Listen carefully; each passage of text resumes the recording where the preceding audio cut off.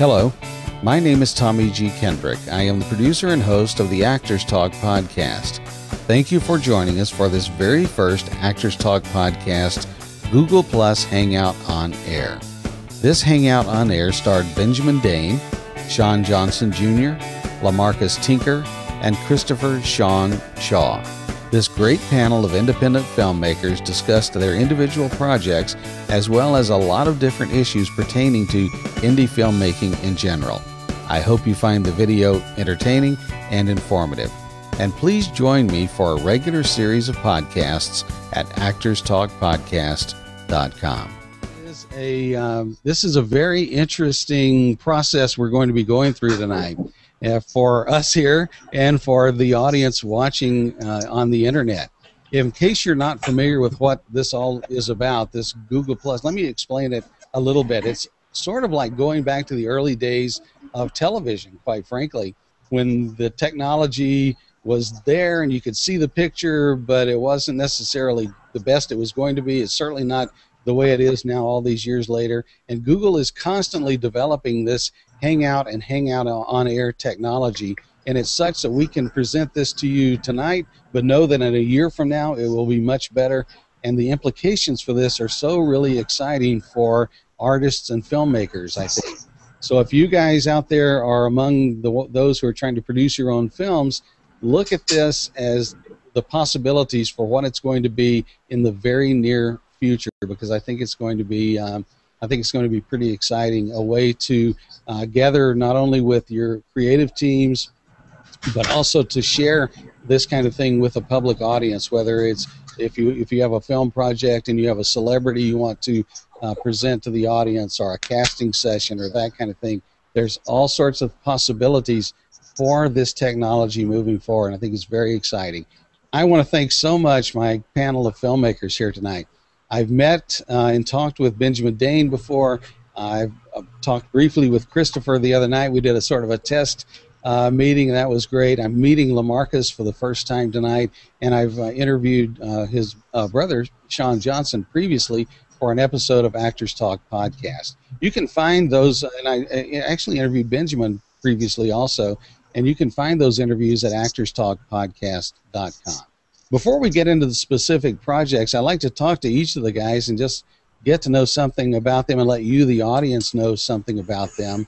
Um, and it's always of interest to me as a creative person because I know when I I had yearnings as a young boy in Beaumont, Texas, that I somehow knew in my heart I wanted to be a performer, which was an unlikely uh, notion back then because I had no role models or anything. And it always interests me to find out who among us, uh, of, of my creative peers and colleagues, how this notion came to them that they wanted to get into the, the creative arts somehow.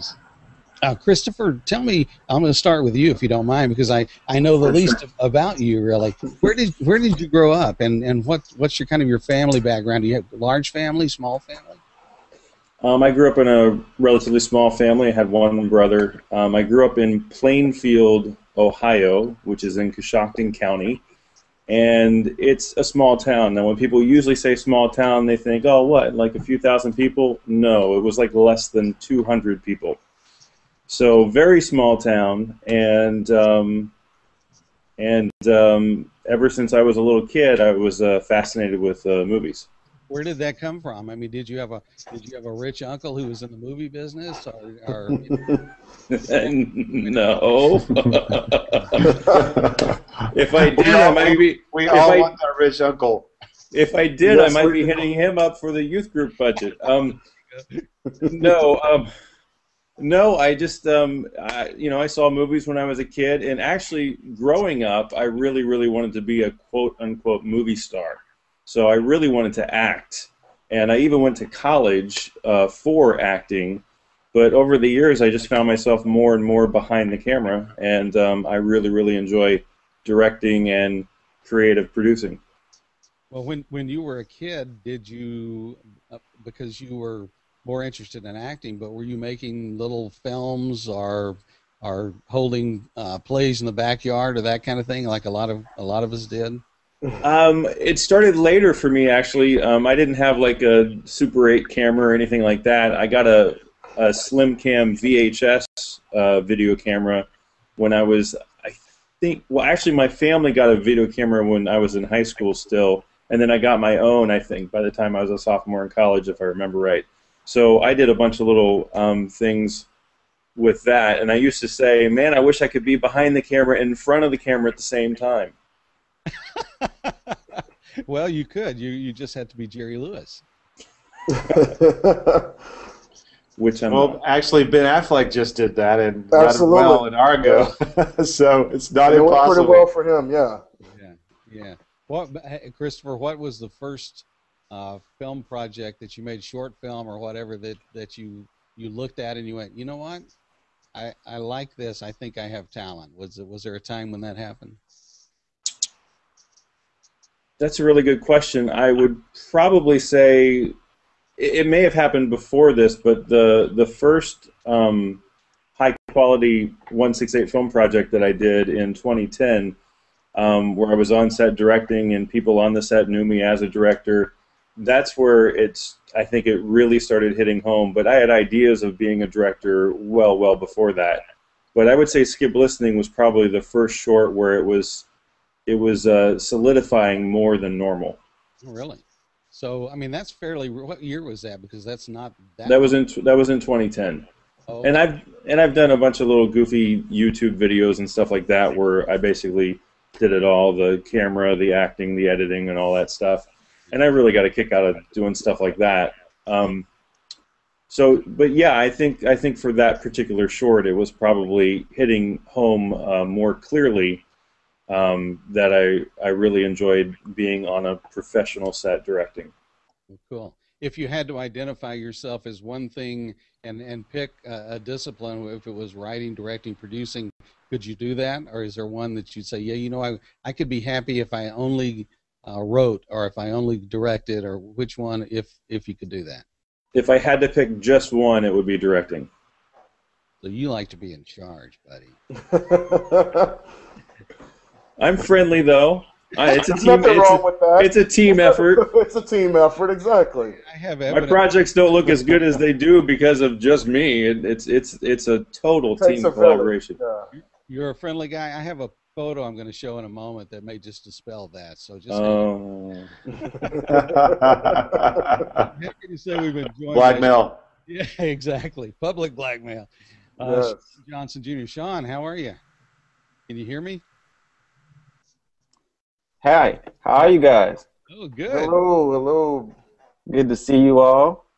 Yes. Lamarcus, my brother. That's my brother, yes. Tommy. It's it's great to see you again. We had a little session the other night where we did a little bit of rehearsal, and it was actually my first time to do a face to face with Sean. We had a very very good discussion a few months ago about a project that we'll be talking about called Down by the River, and uh, it was it was really nice to uh, get to talk to Sean in, in person the other night. And uh, I'm glad you're glad you made it. I was uh, I was concerned that you might not be here, but I'm Yeah, I'm so sorry. Are, are we live yet? Because um, I, we are live. Okay, good, good. We are to the live. show. We're alive. Party. start eating a cheeseburger or anything. No product placement here, man. no. Sean, was- since you came in last, I'll just go to you now. We're just sort of getting to know the filmmaker here before we start talking about projects. Now, I know a little bit about you because we talked before, but I, but I want you to introduce uh, yourself to the audience. And and there are a couple of things. You have an, an interesting background, to be sure. And you were born in New Orleans, I believe, but you, you live now in Houston. And I'm, as I recall, maybe was that Katrina related, the relocation from New Orleans to Houston, or not? Am I? Um, same time, just the next year, the following year, I left in 06. So um, Katrina happened in 05. And then I uh, made the move to come to Houston, Texas. Now, when did you? You're a writer, you're an actor, and a really good actor. And the Thank thing you. the audience should know about all these guys, and this is not uncommon in the indie world, but these are what we would call hyphenates. There's uh, none of these guys are just an actor, just a writer, just a director, just a producer. They all wear uh, several different hats, and in these cases, they wear them well. So I know that uh, Sean is a writer, and I think that was probably it was acting or writing your first love that got you into this this filmmaking world. Writing was my first love. Writing was my first love. I never knew um, that a screenwriter even existed until I did the research for myself in 05. And um, that's when I fell in love with the whole craft of filmmaking. And I thought it was extraordinary that people actually write lines for actors because I thought that actors came up with the stuff on their own. And um, I never knew about this this world, the screenwriting world. That's it. Now, talk about your mom a little bit. Your mom is a pretty well-known writer, I understand, in especially in the New Orleans uh, area, and uh, I think she probably had an influence on on you in terms of your creativity. Is that right? Yes, she had a, a major a major influence on me. Um, it wasn't a cool thing to do per se when I was growing up, and uh, my mom being a playwright and mom's name. I'm sorry. Trina Brown. Her name's Trina Brown and um, she started off in the playwright world and um, i was too young to, to kind of get involved with the things that she was doing at the time um, i was like you know 10 10 11 12 years old and um, i helped around a lot you know going to different venues and prisons and churches and communities and and uh, plays and all that good stuff but she was the the, uh, the the the solid foundation that that laid the way for all of my brothers to do um, filmmaking, and now she's transferred into filming herself. So now was that um, was that a dream of hers uh, going back some years to get involved in film, or was that no? It, and and that's the weirdest thing. She she did. I guess she had an idea that she wanted to do it, but didn't know because she actually. Um, started taping her plays and then she tried to take her plays and tape them herself and then it was like we cut it on scene by like stopping and, and then setting the camera and just starting it over again and that's how we you know cut it on on on location. So um and that was that was our first uh, project. I want to i want to say it was called christmas in the hood and she took that play and then made it into a, a, a short film per se. Wow that's that's and I actually, I actually had a cool cameo. She, she you know it was it was kind of i guess ratchet back then how she did it but um when she filmed one of the scenes, I was in the background with my feet hanging off the bed, you know, playing Madden in the background. So that's where it started, my feet right there. is your mom involved with your creative endeavors, your your companies as you're producing films now? You and Lamarcus, I believe, are involved together in projects. Is she somehow involved in those projects as well? Yes, she's she's majorly involved in me and Lamarcus projects and her projects. We all work as a, I guess, a three horn team, and yeah, um, we just has a, as much, you know, opinion and uh, and, and uh, what's the word I'm looking for? What what, what word I'm looking for, Lamarcus? It the uh, the uh, input uh, and create and yeah. yes and creative, creative advice. She's very involved. Yeah. All the way. All the way. So right now you're you're living you're still living in the Houston area is that right? Yes I'm I'm, I'm actually in Cypress off of 290 and Highway 6 uh, now don't give your address. Oh, sorry about that. you, got, to catch me in traffic for that. uh, I'm going to jump to the end of the line uh, for the next talk to Ben. Benjamin Dane is uh, is a guy that I've known uh, for a while now, just mainly because of a project that we'll be talking about here shortly, Beyond the Farthest Star. But Ben, tell us a little bit about your background, because as I recall from talking to you previously, really your your entree into the arts wasn't in acting initially, wasn't it? More in art or maybe graphic design or something like that. Or?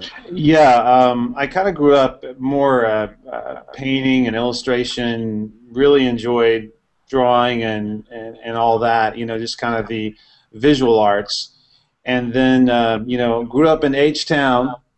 That's Houston. So all right. for those that don't know, so Houston's my uh, my birthplace and um, my hometown, but um, and I'm actually in Houston uh, tonight. So, but uh, but yeah, no, I, I grew up in Houston and just really doing um, a lot of different things in the arts, uh, and, and, I got introduced to acting in um, in high school and just really fell in love with it. Kind of left it and then started doing um, stage shows, community theater really kind of honing my craft that way.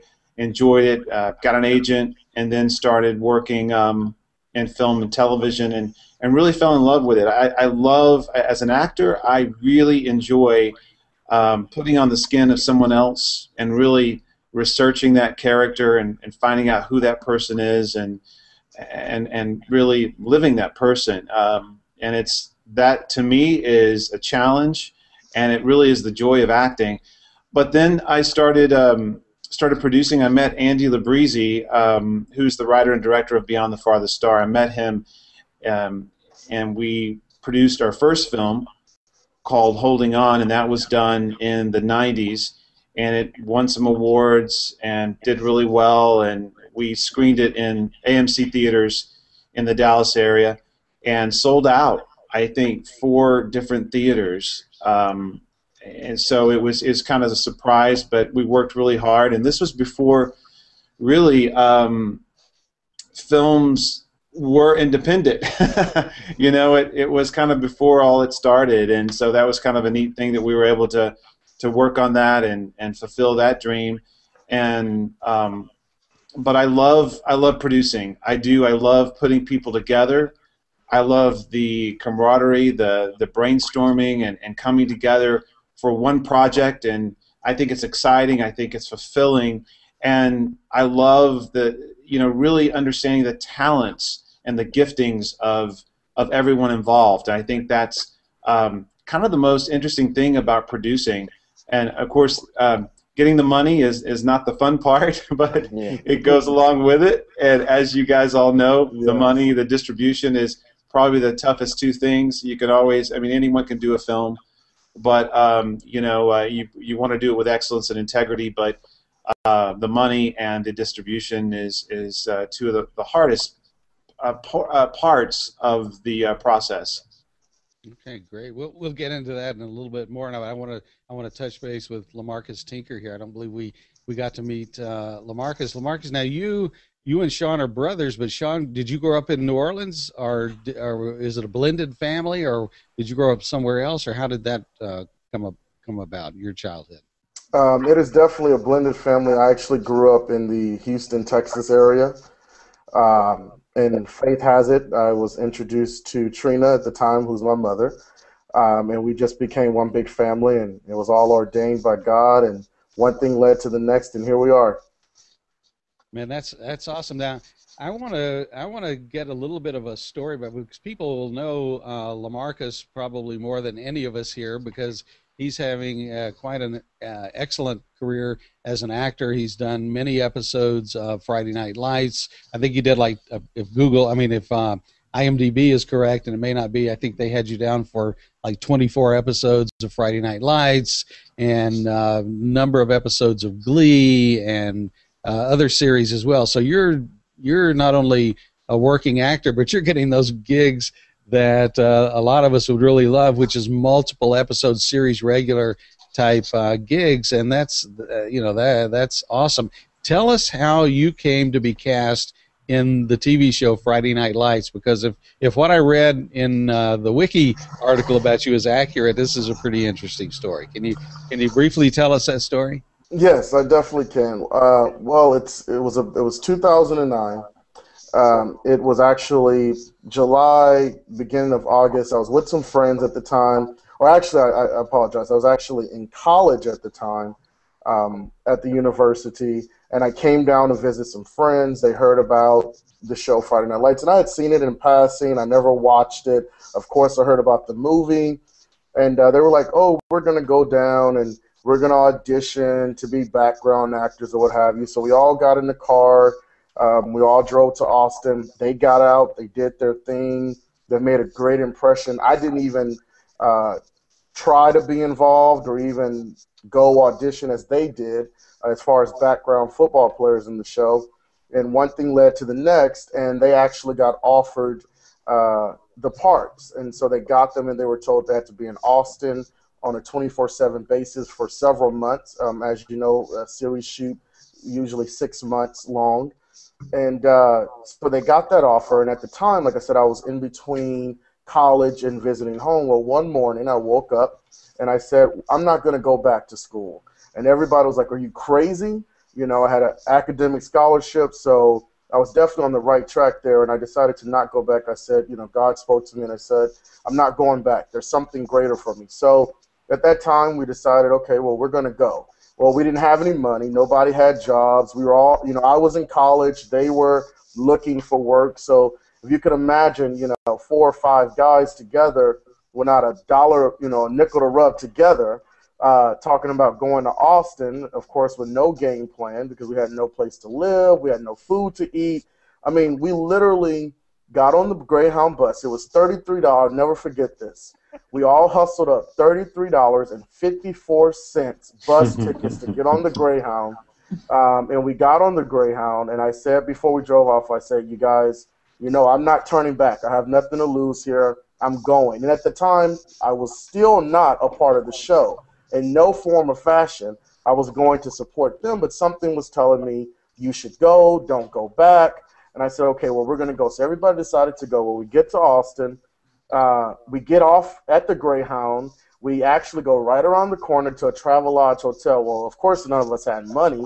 And so if you could imagine these guys standing under this tree uh, with all their luggage, suitcase, pillows, laptops, the whole nine yards, we were literally underneath the tree. It was hot outside. Uh, we, we, we just didn't know what we were going to do. So we were under that tree for about eight hours.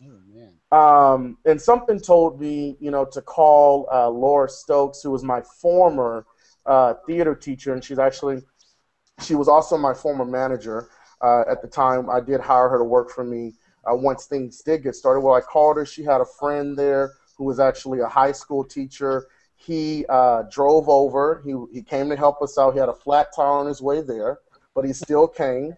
And uh, he paid for two nights at the hotel. So we were like, thank you, thank you. We really appreciate it. Um, you know, then we were able to get some food. How, how did you get on Friday Night Lights? When you when you got to the set uh, to, to for the extra work, what what happened? I mean, something something happened when uh, did you meet uh, somebody that said, "Hey, you look like a football"? Yes. What? Yes, I actually was playing pool with a friend, and you know how guys are. We're macho, so I called out this gentleman who looked like a regular crew guy. Uh, he really didn't look like he would really wanted to be there, but I think it was because he was into the game he was playing. So I called him. I said, "I'm going to play you." Well, little did I know that guy uh, just so happened to be the executive producer, creator, and director of Friday Night Lights, Peter Berg. Oh my, oh my gosh. Um, and That's uh, crazy. Yes, he told me. He said, "All right, I'll play you." And so he went. He had a little boy with him. I was that was his son. He uh, had a little boy with him, and then he comes back over. He's like, "All right, I'm going to play." So everybody starts crowding the table. He beats me in the matter of seconds. Like I could not believe. I was like, "Did this guy just hustle me?" Um, and so we at that time the extras were supposed to go to set. Well, at that time I was asked, well, why don't you just be an extra? I said, okay, cool, no problem, no problem. Make some extra change while I'm there supporting the friends. Well, one thing led to the other, and I'm walking on set. This he calls me back over. He's like, "There's something about you that I like and that I love. It's something telling me to." you do something with you. And he asked, you know, was I an actor? I said, yes. He says, are you serious about this business? I said, yes. He said, okay, well, this is what you're going to do. You're going to go in that scene. You're going to say this. You're going to talk to this person, and this is how it's going to go. And I said, okay. He asked, what is your name? I said, Lamarcus Tinker. He said, Tinker, I like that. That's your character's name. Thank you. And then next thing I know, he's, you know, everybody's surrounding me and they're like, hey, you know, this is what you need to do. I'm signing this. I'm giving this. I'm putting this on. I'm getting spritzed by makeup and hair and wardrobe. Wow. So, so many things are going on. Well, long story short, that happened. I showed back up thinking, okay, that was great. Everybody was, it was the first day of shooting of season four, the very first day. Um, and that first scene was with Taylor Kitsch and Madison Burge. Um, and I show back up thinking, okay, I'm just going to go back to being an extra. You know, that was great. Uh, well, little did I know that wasn't going to happen. Um, I was actually told uh, you cannot be an extra anymore, and you shouldn't have showed up today. And so I was kind of like, whoa, what did I do? And so I'm sitting in the cafeteria area. He walks by. He comes over. He's like, what are you doing? I'm like, they told me I couldn't work. He was like, who told you that? Um, and let's just say things change very quickly. Um, and then the next day I came back on set. um, I had a trailer, I had a deal, and I had a script where my character was created, and that's hence the that's how Dallas Tinker was created. I was written into the show. Um, the executives and you know and the writers loved me, and it changed my life overnight. So I went from underneath that tree to a deal with the studio within a week, you know, and sorry. my life changed forever after at that point. I'm sorry I got you to tell that story. Yes. That's like a God thing right there, man. Yeah, that, that was is amazing. That, that was nothing but God. It was ordained. Wow. Uh, and I'm glad I listened that morning when I woke up out of my sleep. There's going to be all these people that see that and go, see, all I need is going to happen for me the same. Uh, it does happen. yes, it does. It was a blessing. Very rare, and uh, in in Lamarcus' viewpoint, and and he may well be right. It was ordained. So, and, and unless the Lord's looking over your shoulder like He was for him, you know, don't try this at home. It may not happen. right. Follow your dreams, but you know, have a plan because I really took a leap on faith there, and it could have all fallen apart, but it didn't. I listened. I was obedient, um, and here I am today. That's mm. that's awesome. That's a that is a that is a great uh, great story, and and this whole thing that we're involved in, this filmmaking, whether it's acting or, or uh, producing films or movies, there's there's so much faith involved, and there has to be a lot of passion involved as well. I mean, I tell people all the time I get uh, through the podcast and and uh, my blog and stuff. I get young people, and everybody's younger than me now. Uh, but uh, I get people calling, say, or contacting me saying, "What what can I do?" And I and you know, I really have to tell people honestly unless you feel it's a calling, you know, I mean, a, a deep, even a spiritual calling, you know, not just something I want to do or I think I'd like to do it. If it's not really deep within you, do something else. Yes. Because the business is very, very hard.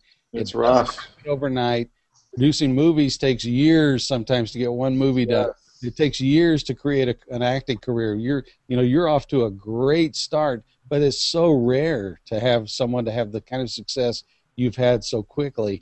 You know, if it's not something that you must do because it's in your soul, do something else because there are a lot easier ways to make a to make a living. That's for absolutely. sure. Absolutely, it needs to be the purpose. Uh, I want to uh, now we're going to try something, audience, and we're going to we're going to switch to what's called an app here, and I'm going to share my screen and show some show some uh, pictures of some different films we're going to talk about, and I'm hoping that this doesn't create havoc in the hangout. Not Pro Tools. Not Pro Tools. Oh, Here we go. Not, not, Pro Studio, but I'm going to go to a no. screen share and uh, and hopefully you know because I stayed up till two o'clock getting these slides ready. I'm going to use. You're going to try. but we're gonna we're gonna try it, and hopefully I'm going to start. Uh, ben, I'm going to start with you, and we'll talk about uh, Beyond the Farthest Star and I, and if you will, I'm going to put some of these uh, photos up, and maybe you can just uh, take that opportunity to not only talk about the specific photo, but if if it, it, recalls or brings something to mind about the project, then you can go into it at that time. Does that sound fair? That sounds great. Let's try this, guys. Oh boy, let me. Uh, this is this is live live television, folks. So I'm going to switch something over here and see if I can get started. There we go. All right, so I'm going to share my screen. There we go. Please stay with me, everyone. Okay, Ben, can you see that? And hopefully. Yes, this is our uh, brand new logo and new colors that we just released. Um, I think it was December 31st. So this is our new look for the film that we'll be releasing uh, this year in theaters in 2013. Cool.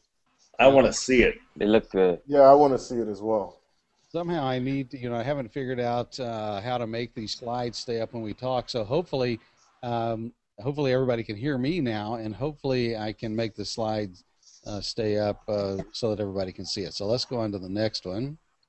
And okay, nice still shot. We have we have an incredible cast, um, and and one of our stars is Renee O'Connor. Renee was in um, uh, she was Gabri- Gabrielle in Xena, and an incredible actress. And I'm just so excited because I can't wait for people to see her in this role. She's so amazing in this role. and I don't think anyone has ever seen this side of Renee. She's a tremendous actress, and we're very uh, privileged and honored to have her in, in this role as Maureen O'Connor.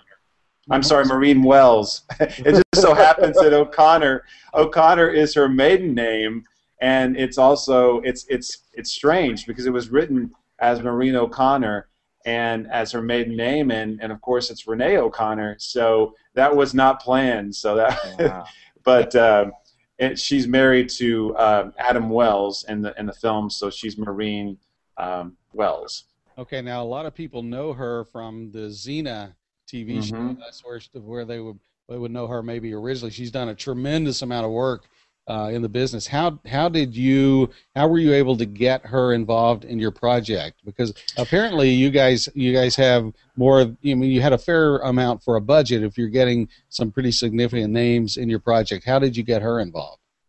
Um, you know, it was really interesting. We um, had uh, a casting director friend of mine, uh, Karen Armstrong, um, who is a LA casting director, and she's worked with, um, gosh, so many different people. She did um, um, a lot of films and, and, and has worked in television.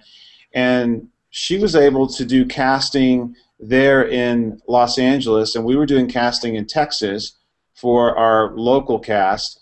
And we, of course, had the opportunity to bring in a few stars and a few uh, names and Renee was one of them, and she read the script and she loved it so much. She uh, one of the things she came in when we met her in Los Angeles. She was crying and she said, "Oh my gosh, this script is so incredible! I've never read a role like it." And she um, she said she related so well to the part, and you know we were just taken by her from the very beginning. And um, you know it's it's it's interesting because for me on the other side of the camera when you're when you're talking with fellow actors and you're having to cast them in, in roles, um, you have such a deep sense of belonging with them and compassion for them.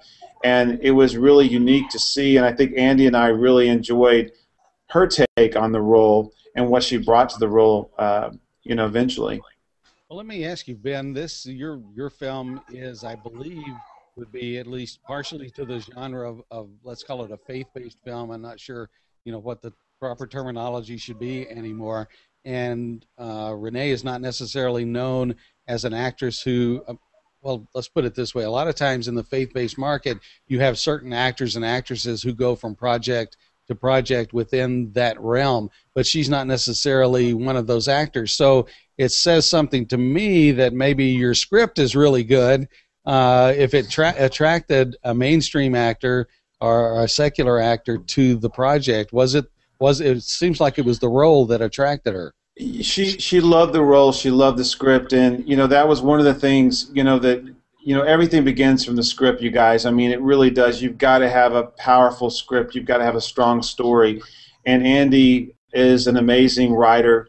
He he did such a tremendous job on the the screenplay that people were so attracted to it and when they read it and you know we met with a lot of name talent that fell in love with the project because they read the screenplay first. Um, we also um, you know lou beatty jr there behind todd uh, todd plays adam wells. And you see lou beatty lou beatty um, he's very familiar to a lot of people. He's been on national commercials. He's just he was just in a big commercial that that ran for several months but he was on fast and furious with Vin Diesel and Paul Walker. Uh, he's been on numerous television shows, um, but an incredible actor. And I think when your story is good, when your screenplay is good, it's going to attract great talent. And that's what you want. You want people that are going to love your project and believe in your project and go with you through this journey together and you want those people you want talented actors whether it be someone that's that's up and coming or it is a star, you want them to be involved in your project and uh, be all in. Uh, so we had these tremendous actors. Todd was a local actor in Texas, but Todd himself, uh, he's done. I mean, he's had a recurring role on Breaking Bad. Um, he was uh, he was in um, Arlington Road with Tim Robbins, and just an incredible, stellar career already for a Texas actor. So we, we were able to attract a lot of these people really because of the screenplay, and then we were able to get a novel written. Um, the authors, Bodie and Brock Thoene, came on board because of the screenplay. They loved the story. Wow. So that's, um, I guess that's the benefit if, if people are trying to decide, uh, young filmmakers out there, you know, should we do our film non-union or SAG? One of the benefits of doing it as as a, a guild signatory project is that you can attract some of the talent like we're seeing here who would be uh, SAG-AFTRA members.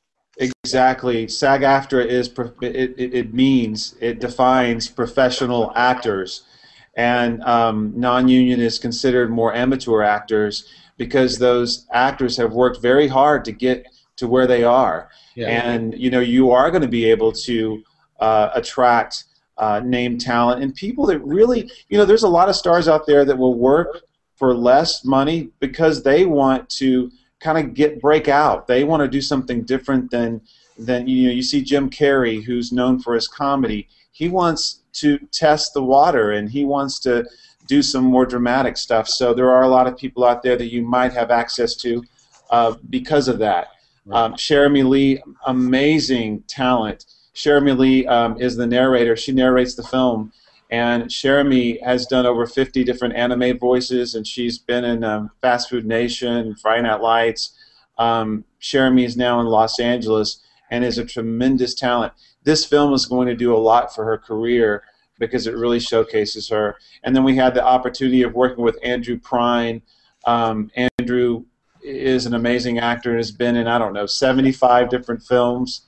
Um, he his I think his first film was um, Miracle Worker with Patty Duke and Anne Bancroft. Is he's worked with everybody in Hollywood, um, and then Barry Corbin, who is on Anger Management right now, and uh, No Country for Old Men, Northern Exposure, and uh, Barry plays our uh, police chief in the town, and tremendous, tremendous talent. Um, so these are the people that we were able to get, and, and really, like I said, because of the story, they loved it and um, it really pays off in the final product. Let me ask you another thing: Are these frame grabs that we're seeing here? Yep, these are actual. Um, these are taken from the footage of the film.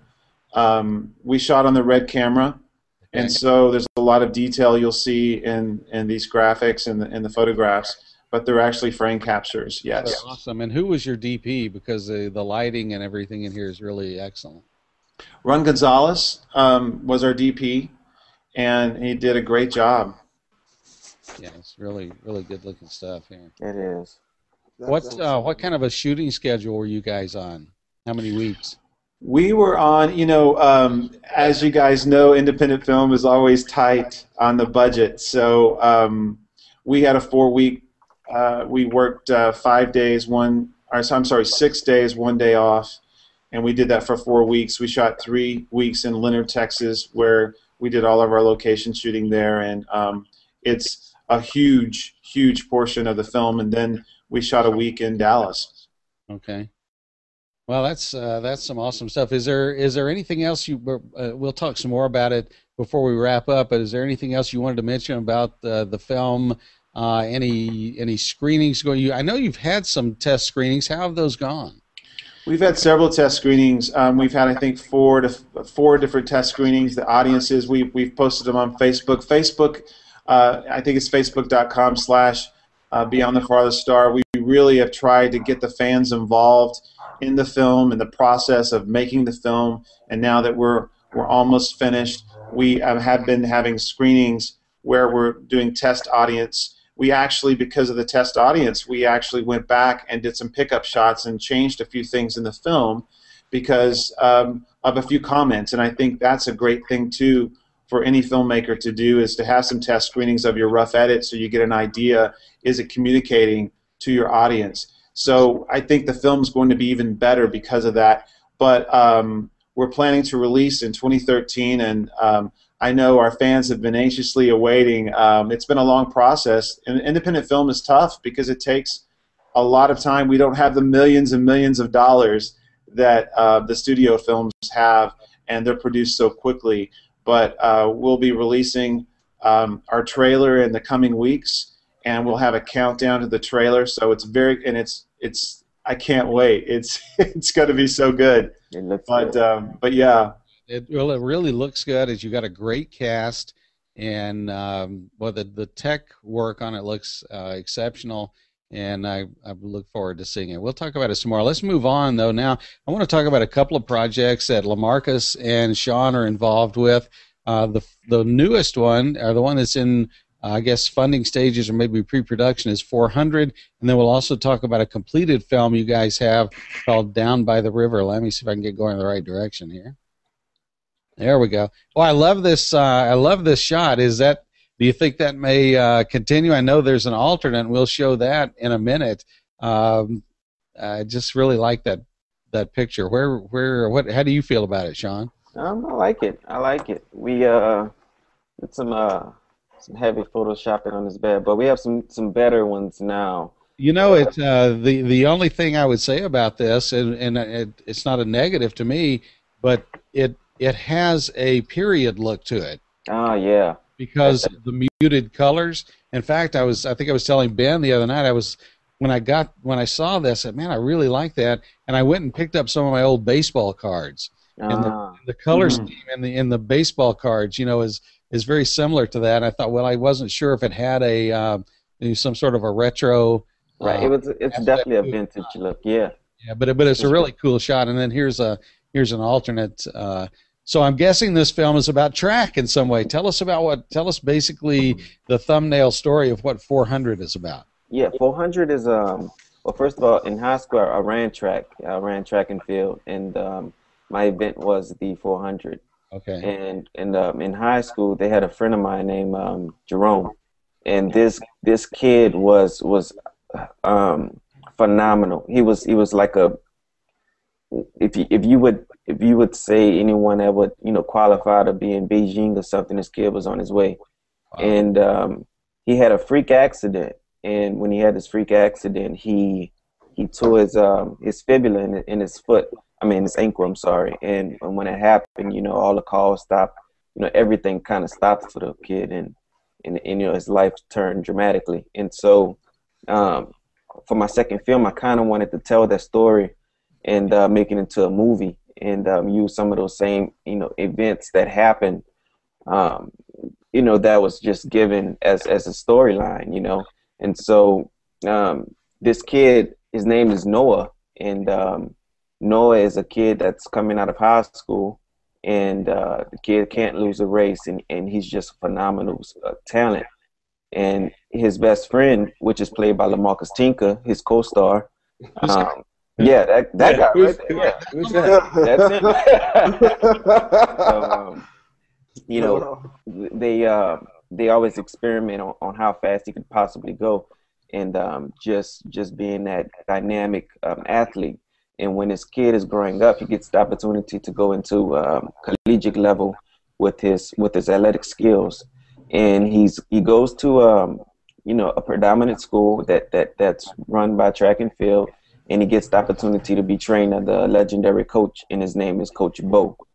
And um, when he gets there, he realizes that his talent is not enough. His talent is is just a mere piece of what you need to become, you know, a team player and a, and a, just a better person. So um, as he gets this opportunity to go to college and runs, you know, just a phenomenal races, um, at what cost, you know, do he learn, you know, to become who he needs to be? And that's the ultimate goal for this guy right here is to become that that that athlete that that that learns how to help everyone. I'm just checking to see if we have any uh, comments going on. I'm not. I'm not finding. I'm sorry. I'm not I'm listening to you, but I wanted to see if we could locate any comments or questions from the audience. So I want to remind the audience if you do have. Uh, if, if if there is an audience watching and uh, you know send those into us and we're trying to locate them. This this process of trying to wrangle these comments is not the easiest thing in the world. Well, let me ask you, Sean and and Lamarcus, how long did it how long does it did it take you to write the script i know you told me on on down by the river you wrote that fairly quickly it sounds like this story's been brewing in your head for a number of years uh, Right. once, once you sat down to write it did it come fairly quickly or was it a well? You know, how how did that happen for you? Um, I think this is an interesting story about how I came in with the screenplay. I found out that well, I heard a rumor that Sylvester Stallone wrote Rocky in three days, in 72 hours, and um, when I found it out, I, I kind of pushed myself to see how fast that I could do it. And so, with the help of a 24 pack of Pepsi, and, uh, no product placement. No, no product placement. Yeah. Okay, with with uh, some soda pop. Yeah. And uh, a 24 pack of soda pop. I said, well, let's let's let's push the limit. If we're gonna do that, it has to be Kiwai 100% true New Zealand spring water because they sponsor my podcast. Okay, that, there we go. Oh, Only water. There it is. And um, so, put, so, you wrote it that quickly? Yeah, I wrote it in 61 hours. Oh my god! Wow! I wrote that screenplay in 61 hours, the first now, draft. you read the screenplay, are we going to say that reads like it was written in 61? No. no. no. no. Marcus, spill it. No. No. okay, Marcus, I want you to tell tell me about Sean. What's what are his strengths as a writer? His ability to captivate an audience. He takes you on a journey. Uh, he really uh, introduces you to these characters in a very slow fashion to where you start to feel for them. Uh, you may love them, you may hate them, you may be caught in the middle uh, where you want to root for them, but then you feel like uh, maybe they're not doing too much, you know, for themselves. And so his writing is very brilliant. That's one thing that, that I can really say about him. He is an amazing writer. I've read a lot of scripts uh, from some of the best writers there are in the business, uh, and and this, my brother right here is one of those writers, um, and that's why I get behind him and give him my full support. Wow. Well, wow. that's that's quite an endorsement. Now, now let, us turnabout's fair play, Sean. If if uh, what is what are Lamar other than acting, what are Lamarcus's strong suits that he brings to your production company? Is it in the is it in the area of directing or producing or what uh, what do you go to turn to him for and say, man, I need my brother on this one? God. Okay, I would I would say Lamarcus is a very talented actor, but his business skills at the at the age that Lamarcus, you're what, 21 right now, right? 22. Okay, 22. This kid is like, I'm not kid, but don't get me wrong. I'm sorry, in, in age wise. Well, you're the older brother. Yeah, he would. The way he thinks and the way that he conduct business, you would think he's been doing it for 40 years. And everyone that been around us and been around Lamarcus, they will tell you that this he's so brilliant in getting things organized and getting things running. And I mean, he would.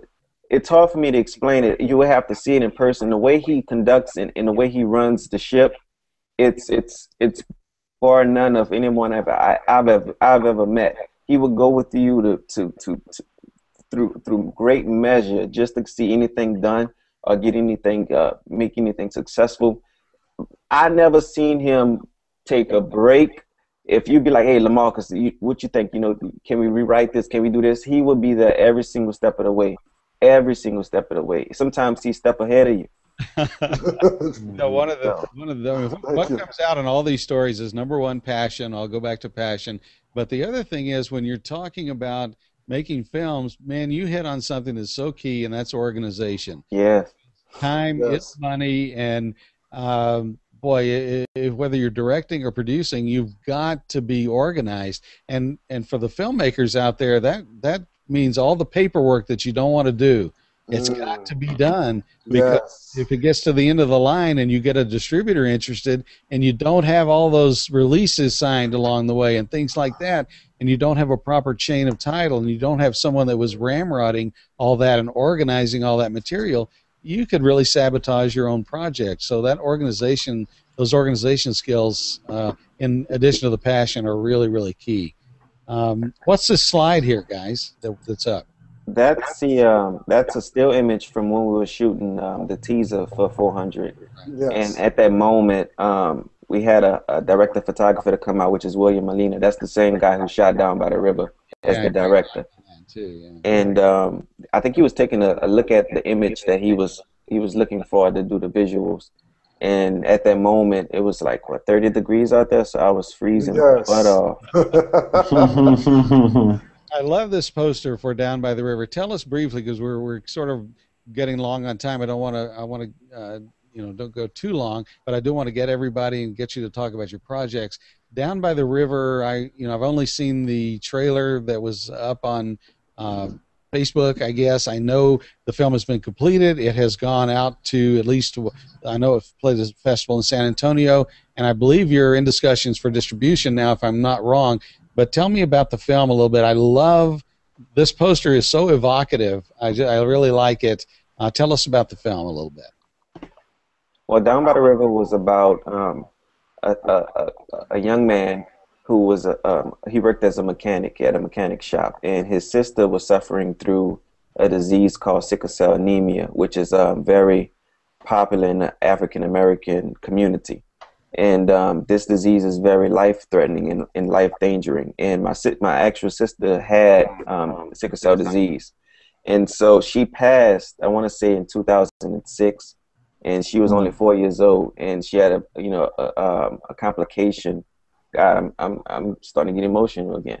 But um, she, she had some complications um, with her sickle cell anemia disease, and it took her life at a very young age, and she couldn't even live to see five. So what I wanted to do was, I wanted to keep her story to live forever. Well, we all want, we all wanted that, and um, so he ended up everything that I wanted to, you know, share with my sister, I, I, I figured, well, if we if we turn this into a screenplay, then maybe I could do some of the things that I would like to do, and now I could watch that, you know, forever. And so that's what we did. And um, so the movie is about her, you know, suffering through a sickle cell disease, and he tell her stories um, just to kind of brighten up her day. But on the side, the uh, the, the character he wants to be an author, and he has no way of finding that you know the right way to write. He don't he, he's struggling.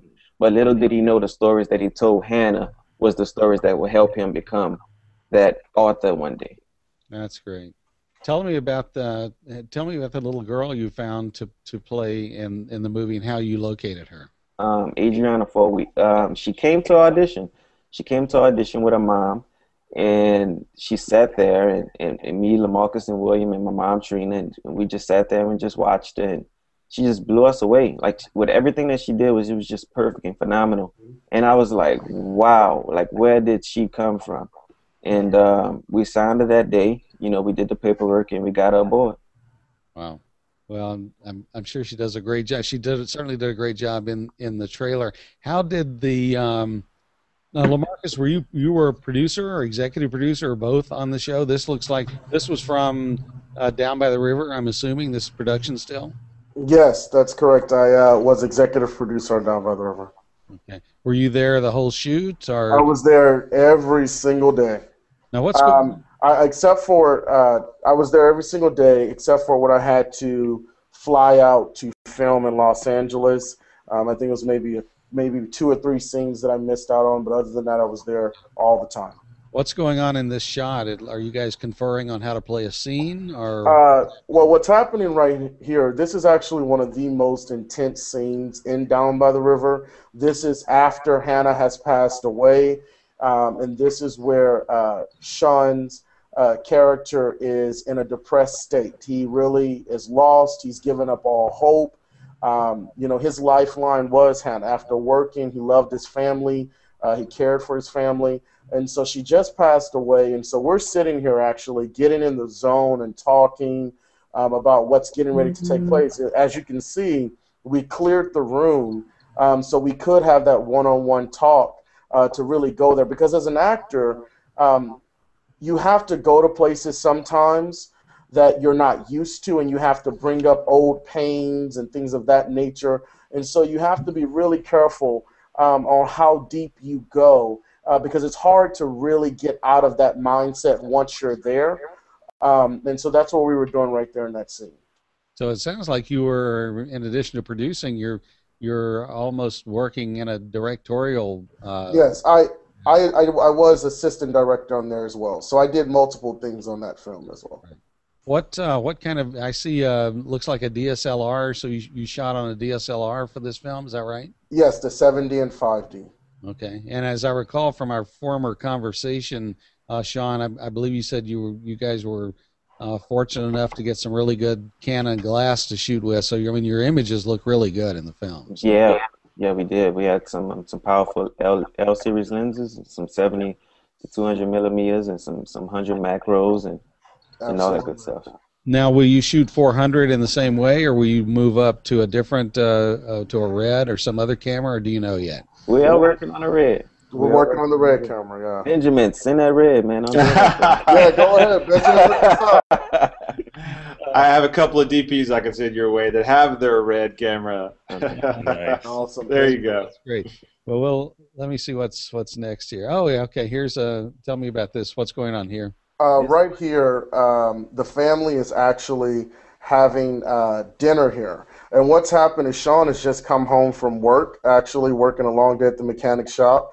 He comes home. Uh, he's expecting to eat. Well, however, uh, sitting at the table, and you can't see him in this photo, is an amazing actor uh, named Benny Schwartz, who played the father of Hannah. Uh, and her father kind of comes in and out of her life, and him and Sean have never seen eye to eye. And so they're actually eating, and Hannah, uh, she really doesn't like to eat greens, um, and they don't usually make her do it. Um, and so her father becomes really upset with her, you know, and tells her, you know, you do what I say type of mentality, and it really upsets everyone. And it's like complete silence. And as you can see, Adriana uh, there is really she's really down about it because she really loves her dad and she never wants to upset him because she feels yeah. like she's the reason he leaves. Yeah. How long a production schedule did you guys have on this film? Oh, we shot on and off for about a good, I want to say a year and a half, maybe two years, simply because of scheduling. Uh, everyone was doing different things. Uh, and we did start off initially shooting two weeks straight. You're talking 12, maybe 15 hour days um, at the time. And so we shot for a while. It took us about a good year and a half, two years to get everything completed post production, and of course the premieres that we did. Wow. We're going to talk to Christopher in a minute, but let's explore that just for a second while we're while we're talking about it, because uh, I know Ben, you're you shot or began production on uh, Beyond the Farthest Star in what 2009. Uh, we shot principal photography in 2010 was our main, um, you know, for four weeks. The principal photography in March of 2010. Right and and you guys so so the point is that a lot of times people especially in the indie realm uh, maybe fans or people who are looking for a film don't understand how long it takes to get a film made. And they may think oh well something's wrong with the film. It did you know it must not be any good or something like that. And that's not the case at all. No. you have millions of dollars to throw at something and can keep on on a really quick release schedule. A lot of times you you in the indie world you have to do what you can do as you can do it and get the film together. Um, well, you, know, you don't. I think most most people think. I, I think that uh, when they see these big films come out and they come out really quickly, they've got you know the studios prepare for them. They're they've got this huge marketing campaign behind them. What people don't understand is those movies. You know they spend. You know they they they just spend a hundred million dollars on the production alone and then they spend you know at least 50 60 80 million dollars on p&a on, on uh, prints and advertising. Mm-hmm. so that's the kind of money we don't have you know? We just don't have that. I mean i wish we did have that rich uncle but yeah. we don't you know? So it takes some time to put things together but i will tell you that independent the people that work in independent film are so committed and it's like a family. And so you know they're all hard workers and you've got people that are so ready and willing to do just about anything to get this film completed. It just takes a little bit longer to do it because we don't have the uh, the the money that the studio has. We've got to we got to operate on a very shoestring budget. You know, I think I was talking to Ben about this the other night, and Christopher, you could jump in here too if you have any a viewpoint on any of these issues. I'm going to talk to you about your films here in just a second, but you know, I was I was talking to I think it was Ben. We were talking. Uh, there's some really uh, well-known movie or pretty well-known movies anyway. I would uh, I the last thing I was in was a little movie called Bernie with Jack Black and and Shirley MacLaine and Matthew McConaughey. And great movie. Like yeah, movie. And, it took a decade to get made. And here, you know, Rick, Richard Linklater is a name indie director certainly. Uh, but he's done mainstream things too, but main, mainly indie. But he wrote the script, I think, almost 10 years ago, and he's been waiting for the right cast and everything. And then, even with Jack Black and Matthew McConaughey and Shirley MacLaine, a release wasn't assured. They had, you know, they had to get it to the right people who saw how good the movie was and believed in it to uh, to get the right uh, release uh, going on it, right distribution. So it's not just. Uh, I mean, it, it it takes a long time. And one other anecdotal thing from my own experience, I was in a a little a great little family film back in 1997. I guess we shot called uh, independent film called Dancer Texas Population 81, and that script sat around for 10 years while the director and writer Tim McCanlies, you know, went about trying to to raise the money and then he went on and did secondhand lions and some other things too. But uh, you know, it it you know, it seems like almost sometimes the better the film, the longer it takes to get it made. Oh yeah, yeah, absolutely. Yeah. Well, American Beauty, I think, took 18 years to complete, and that was just. I think whenever a, a, here's the thing: studios and distributors, they don't.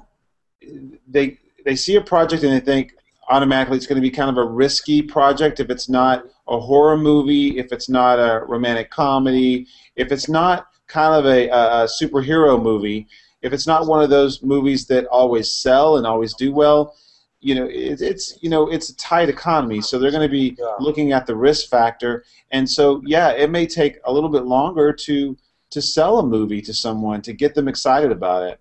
Right. Yeah, it's just right, especially in this market. Right. Mm-hmm. Yeah, and the, that's right. The economy has a big has a lot to do that with that, and and and even tax laws. Fortunately, you know, with the uh, the the favorable tax situation with the, what is it a, a 181? Uh, I can't remember the, the name of the section 181. Section 181 got, got extended, you know, and that's something that's favorable for film investors. So absolutely, it it, it really helps when those tax incentives are there uh, when you're making a film. You know, and then the other thing when we talk about incentives, uh, and we're dealing with this in Texas and, and even California, everywhere is dealing with it, and that's the, the tax incentives that the states are offering to certain locations to get film production there. Louisiana has, uh, by and large, decimated the Texas market in some ways, and we're trying to win it back by increasing our more, being more competitive with tax incentives but there's so much production in Louisiana now, film production, because they have a very strong uh, tax incentive program, and because it's been so strong now for a few years, the infrastructure is building up there as well. Um, so it's uh, you know it's a, and, lot. And, every, and, and, states compete for that because Georgia's doing really well. I think the Carolinas are doing well. Mm-hmm. You know, and they all have Oklahoma, New Mexico. They all have their incentives, and it, it's great because uh, it gives you know, uh, a smaller film the opportunity to, to, to go to a state and really do more for their their money than they would normally. But you know, it's it's kind of funny because Louis, um, California is doing less and less. You know, it's like all the films and even the series are leaving California and doing them on location in other states right. that have incentives. Yeah, yeah. I mean, tax, California just I think they think they got their own tax incentive package re uh, re-upped again, but you know the the economy there is in in such bad shape. It's it's difficult. But you know there there really is. I mean, I think for the last like three of the four last auditions I've had, I've taped the auditions for New Mexico and Atlanta and maybe uh, New Orleans or somewhere. So you know that's what's happening in the actors world too. This this everything the uh, production's spreading out. So Christopher, let's talk about some of your projects. I, I love this poster, and one of the projects we want to talk about is sort of a mock-up here, but uh, that we want to talk about is this film Youth Group. Tell me, tell me about that film and uh, that project. It, it hasn't been shot yet, I don't think, and, and how you came to be associated with it. Uh, that's a really interesting story. I actually met Thor Ramsey, who's the writer and he's to star in it as well. Um, he's a Christian comedian and he's a teaching pastor at Canyon Lake Community Church now. But um, he wrote the script before I even knew him, and uh, I met him on Facebook. And a very long story short, um, I invited him to come on my 2010 168 film project, uh, which turned out to be Skip Listening, that he also wrote and was the star of. and um, part of the reason that he um, came on board on our team to do that was because he had ulterior motives to find filmmakers to get Youth Group made. Uh, So, um, so we talked about that, of course, during the process of uh, working on Skip Listening. And uh, the story, it's about a youth pastor in crisis, and it's a romantic comedy satire. The satire part is it takes a comical, lighthearted look at some of the wacky methodologies and strategies in churches today, and um, and uh, and it also has a very redemptive uh, message in it uh, at the end that uh, plays really well in the, in the screenplay. I, I love the I love the tagline at the, at the top, and hopefully people can see it. It says, "Who's who says Christians aren't funny? Christians have always been funny, just not on purpose." you know, Very true. Uh, you know, when you look at the faith-based market, unless I'm wrong, I don't see, especially in the features, I don't see that many comedies. You know, Not at all. yeah, I- that's I see It's a lot- usually, I mean, a lot no of offense to anybody, but it's usually a lot of crying. yeah, I, So- Yeah. you know the the hallmark and, and and the downside of the genre unfortunately for so long has been that the films just weren't in in the faith-based market just weren't very good movies i mean they might have been technically somewhat proficient but the acting uh, the hallmark of a, Right, right. of a quote unquote christian film is usually the acting's bad uh, the technical work is not that good and there's no story but there is a sermon you know so yeah, I haven't, I haven't seen anything out there like what Youth Group has to offer. Yeah. So so does that is that a challenge in that market trying to fund a comedy? I mean, just any comedy is it is it more difficult than if it were a more traditional drama? It appears to be. Well, now I so. You're you're in talks with uh, we won't mention any names, but I believe you do have some some uh, fairly high level interest in this project ongoing, and that's got to be encouraging to you. Uh, yes, very encouraging, very exciting. We actually have a dinner meeting with uh, somebody um, who's a name actor and his producing partner um, on January 22nd, and uh, they have expressed interest in wanting to help. So we're still early in the conversation. We had a conference call that went really well, and uh, we'll see how that goes. Well, if you know, if, if people are out there who are interested, maybe who knows if that'll work out or something else does, but maybe there's an investor out there who this type project strikes their fancy. What type of uh, what type of budget are you hoping for in your you know in your in your dreams? I mean, I'm assuming it's not going to. I'm assuming it's not going to be a twenty million dollar movie. Oh, Just 19. Well, well okay. Well, well, you're you're asking a very loaded question because different budgets have been thrown around. But Well, it- right now, what's that? It depends on the talent and a lot of things. Right. It, you're and, and that's so true. It does depend on who are you getting as the talent. It depends on whether or not you're getting the locations at a great deal and, and all kinds of stuff like that. Mhm. Um, and right now, fortunately, we have a lot of people who really want to work on this project who um, are willing to help us out in the you know discounts and so forth. Well, So put it that's this way. that's really cool. That's a- really important. There's probably Yes. not a lot of special effects in this movie, are there? No, but believe it or not, though, there are some. At the end, there's actually snow is supposed to fall basically in California, so there's a snow effect at the end. So, but uh, but anyway, um, but yeah, we shot the trailer. Um, And The- the trailer looks nice, by the way. I seen the whole pile thing at the end. I love that. Yeah, Thank you. yesterday. Thank you very much. Thank you very much. That was uh, that was fun. We shot that trailer, believe it or not, in one location. It was at a church in Southern California, and there's like seven different scenes there. We shot it all in one location in one 12 and a half hour day, and um, people really, really like the trailer. So we're uh, waiting for the people who can finance it who really, really like the trailer. So right. right. Well, it's a, yeah, it's it's a it's a sort of an edgy comedy, I would say. I mean, it's not. Yeah. I don't mean I don't mean edgy in the way that sometimes we use edgy to mean dirty. I don't mean that. right, no, But for the genre, it's not. Uh, it, it takes some chances, you know, and true. and I think that's sort of exciting actually for the genre. And if there's if the faith-based genre is going to grow, you know somebody's going to have to be willing to take some. Yeah, I, I mean, Yeah. don't you don't you guys think it's think it's time for faith-based films to kind of come out of the box? Yes. Let's Yep. do something. Yes, I mean, come on, let's I get think- real. Yeah, And be, and be human.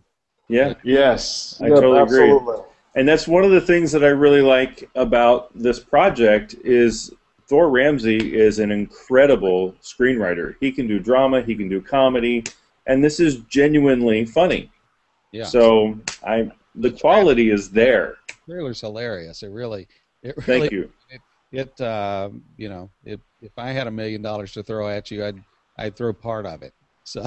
Well, thank you very much. I appreciate that. And if I had a nickel for every time somebody said, Good, Yeah, there you yeah, go. there you have a go. million Uh, dollars. You'd be going to a premiere right now. yes. So what are you telling Thor Ramsey here? No, or are you? What's going on in this shot? What? Oh, um, just so, just so you're aware, I don't see the images. I have a white screen in front of me, so I haven't seen you guys the entire conversation.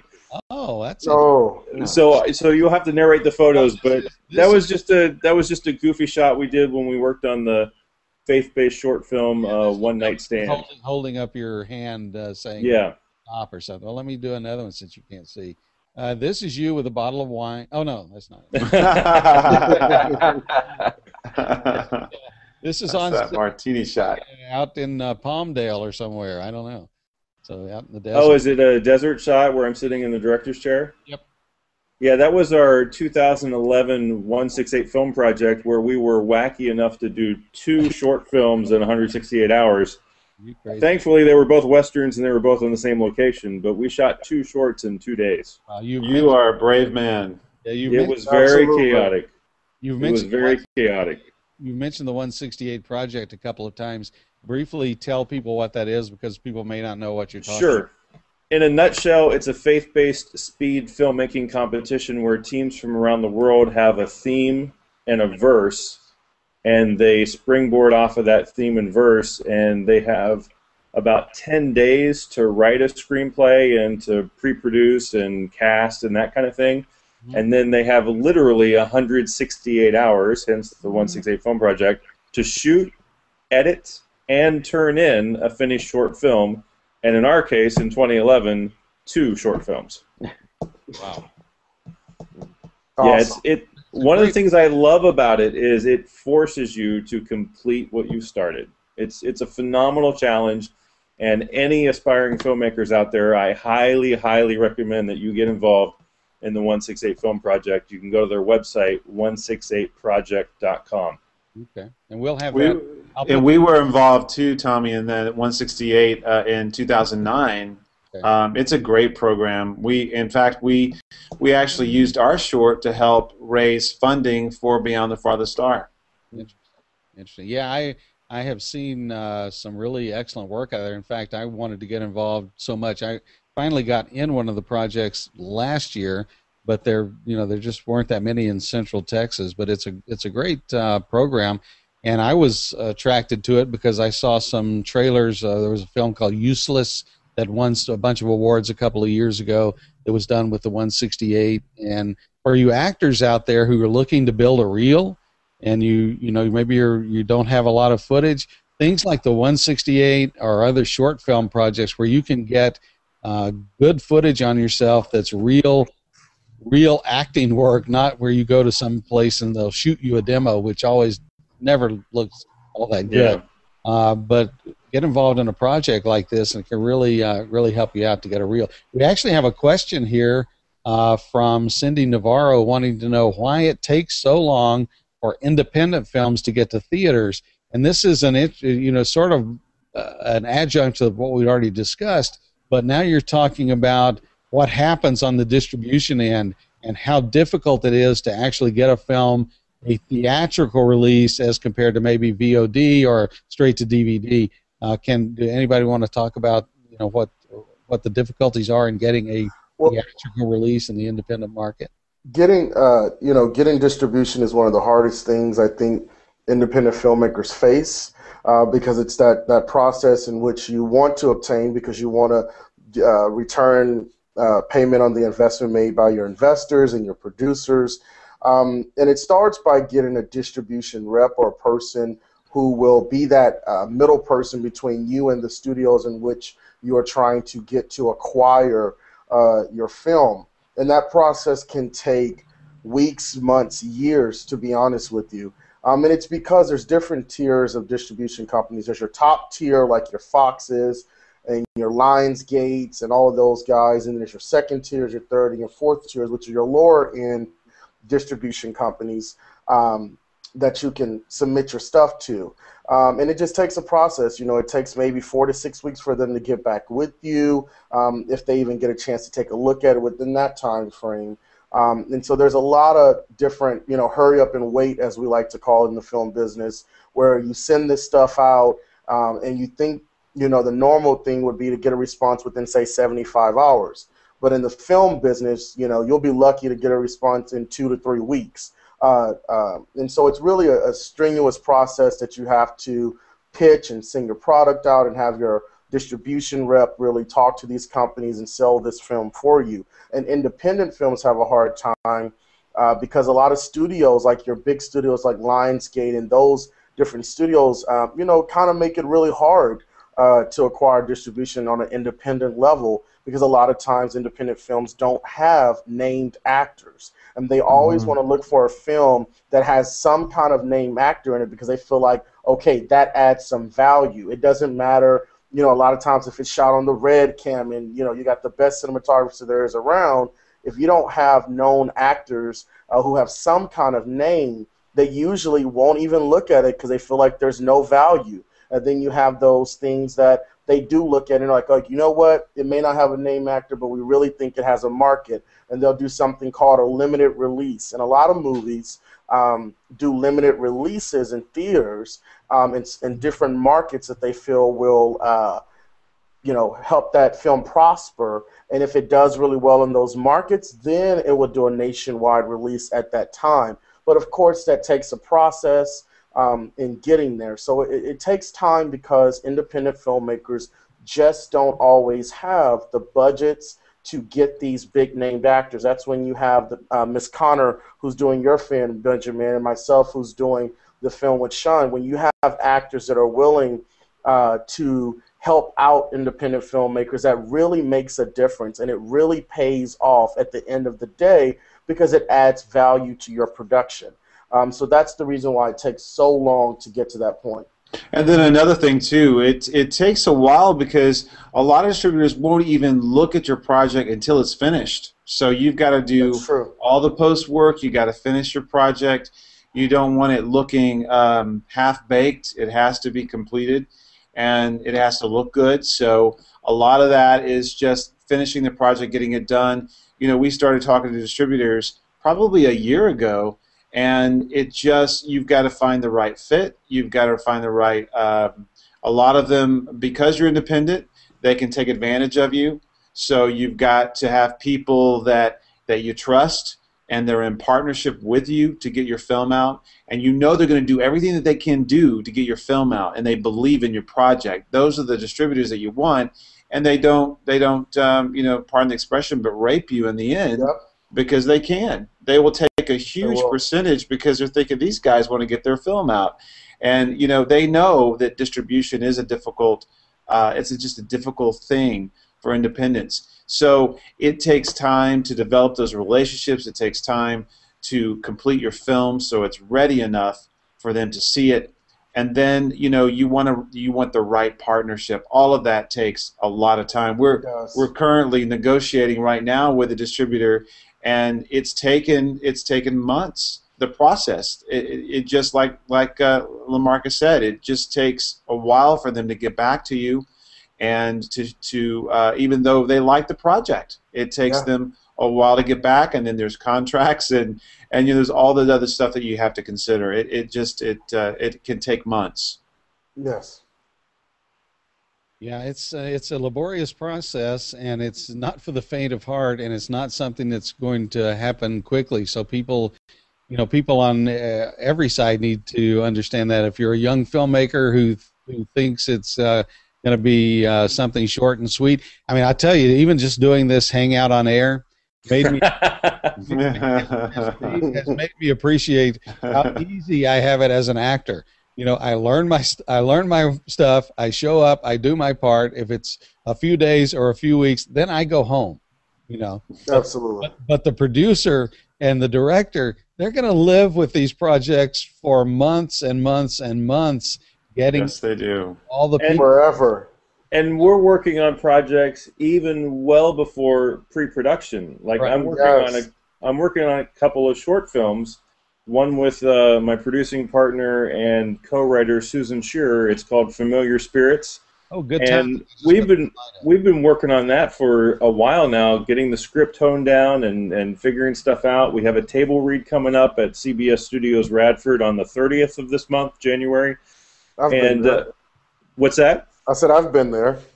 So so it just there's a, so much involved and and uh, mm. shout out to Susan Shearer. Hi Susan, you're doing a fabulous job on this project. Christopher, I've got the slide up for that. It's a really interesting looking. Uh, graphic. Now, did she write this, or did you write it? Are you attached as director, or what? We we both wrote it, and we are both producing it, and I'm directing it. Okay.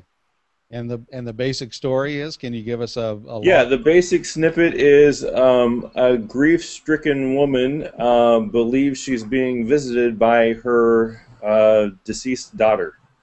Okay and so it's it's really uh, following her journey into you know she really believes this is her daughter, but there are things that are awry about it, of course, and uh, and uh, some people around her, including her pastor and her sister, who really care for her and, and looking out for her, and, and she's just trapped in her despair and uh, so forth, and and she wants to be left alone with her daughter. So, so this sounds like a departure for you because I most of the things I see uh, on the internet that you've been involved in are are comedic. I do tend to gravitate towards quirky comedies, but um, I do have dramatic chops as well. So Oh, well, um, like a really interesting project. So thanks. When when is the reading again? Let's let people know. Uh, the the reading is at uh, CBS Studios Radford um, on January 30th. So now, this what, month. What is the purpose of the? Is it an investor read because it's on the studio? It's not. I assume it's right. Not, it's not open to the public. We actually, um, it it sort of is, but isn't. I mean, you have to sign up so your name can be on a list, and there is limited seating. Um, I think it seats hundred. But uh, basically, it's multi-purposes that, that we're doing it. Um, one, we want to record it so that we can have an audio trailer and storyboards to go with the audio mm-hmm. to help uh, raise the fundage for it because we're looking at roughly a twenty thousand dollar or so budget, and um, and you know that all that crew and actors and all that stuff, food that costs a lot of money, gas, all that you know, you guys know. Mm-hmm. So so there so we want to do that. We also want to allow time for feedback though. There there will be some industry professionals there. There will be just you know your average audience uh, there. So we want to get feedback. Um, see how did, did the script move you? What what did you get from the script? That kind of thing. So we can um, take that and see what we need to do with the script uh, because the actual production of this is a few months out. So so yep. all that all that to say, I mean, you know, you guys were talking about even feature films take a long time. Short films take a long time because you're you're working on it well before pre-production. Um, I'm working on another short film that's a comedy with uh, Brian McClure, who's an actor and producer, and he's writing the script. And it's a over-the-top comedy called "Yeah, Big Baby," and um, and it's really fun. It, it's it's really it's really fun, and Brian's doing a great job on it. But but yeah, those are two projects that um, Familiar Spirits, which by the way, you can go to Facebook and see that it's uh, uh, Familiar Spirits movie. So facebook.com forward slash Familiar Spirits movie. Um, and don't be alarmed by the title; it is faith based. but um, but anyway, um, those I think the title is great. The title is fantastic. Yeah, it is. Thank you. Is it a feature or a short? It's a short. These are the the ones I'm talking about right now are both shorts. Um, okay. So we're looking at probably a three day shoot on Familiar Spirits. Hey guys, we have some uh, questions on my website I want to throw out to you. But go ahead and finish your thought. I'm sorry I interrupted. I was just saying that we've been working on those two um, just well before the pre-production stage. From first talking about it, finding out what the story is and stuff, we've been working on that for months. So it it, it takes a long time.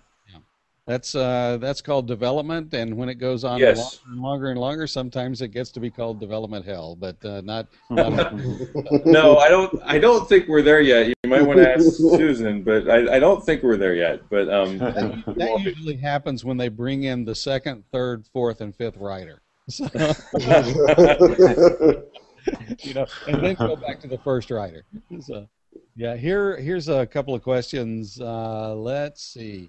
Uh, Tracy Trost. Hey, Tracy. I don't know if he's still watching, but filmmaker from Oklahoma. Hey, Tracy.